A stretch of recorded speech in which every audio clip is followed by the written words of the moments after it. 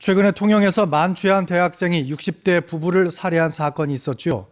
이번에는 남해군에서 술 취한 대학생이 앞집 노부부에게 흉기를 휘둘러서 한 명이 숨졌습니다. 정성호 기자가 보도합니다. 한적한 골목에 위치한 다세대 주택. 어젯밤 10시 반쯤 이 집에 사는 23살 강모 씨가 술에 취한 채 친구와 함께 귀가해 출입문 유리창을 깨며 난동을 부렸습니다. 친구가 돌아간 뒤 강 씨는 돌연 앞집으로 들어가 60대 부부에게 흉기를 휘둘렀고 남편 최모 씨가 숨졌습니다. 이후 주변을 배회하던 김 씨는 3시간 만에 검거됩니다.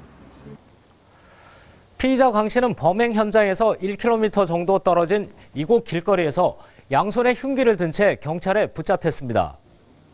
체포 안 되려고 반항을 하는 것을 가지고 있던 삼단봉으로 발목을 내리쳐서 강 씨는 당시 정황이나 범행 동기가 명확히 기억나지 않는다고 진술했습니다. 술 얼마나 마셨어요? 많이 먹은 것 같습니다. 집에 들어가가지고 예, 그걸 했던 걸 기억납니까? 기억이 안 납니다.